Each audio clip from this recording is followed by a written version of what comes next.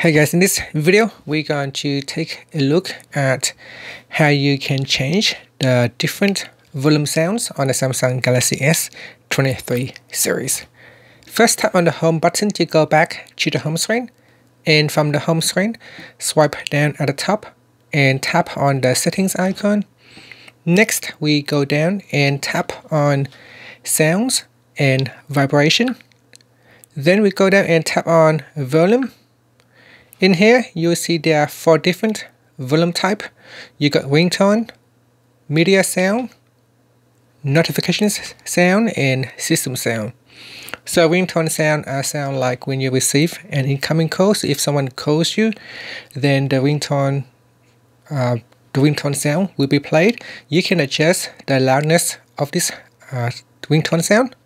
So you can drag on one of the bars in here and we adjust the sound. So dragging it to the left will decrease the sound and dragging it to the right will increase the sound up to the maximum. Alright, next is the media sound. So media sound are like sound coming from a YouTube app, uh, Facebook uh, videos, um, if you play a Samsung Music uh, songs from Samsung Music Player or YouTube Music, then they are media sound. So you can change or you can adjust uh, how loud it will be uh, for those uh, media player. Next is the notification sound. So in here you can also adjust how loud is your notifications sound. Notification sound are sound coming from uh, messages app or WhatsApp, Vibers, Skype, or Facebook messages, or even an app send you notifications, it will raise a sound, and you can also choose how loud the sound will be. And lastly, you can readjust the system sound.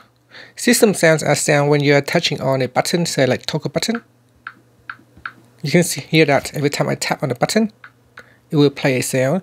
You can also make it softer, so it doesn't play the sound too loud if it's a bit noisy.